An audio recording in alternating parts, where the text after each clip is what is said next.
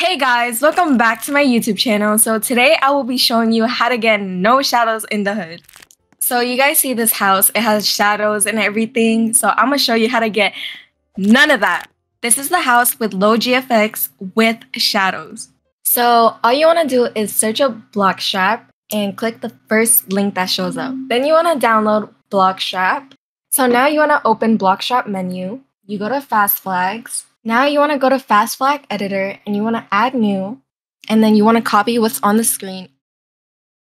When you have those two in your Fast Flag Editor, you want to press save.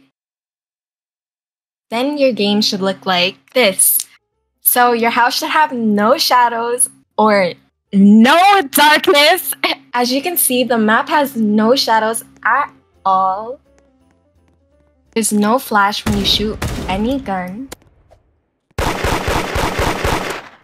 And if you guys haven't seen my new YouTube video on how to get a faster macro, you should go check that out in the description below. And that's the end of the video. Make sure to like and subscribe and comment if this worked for you.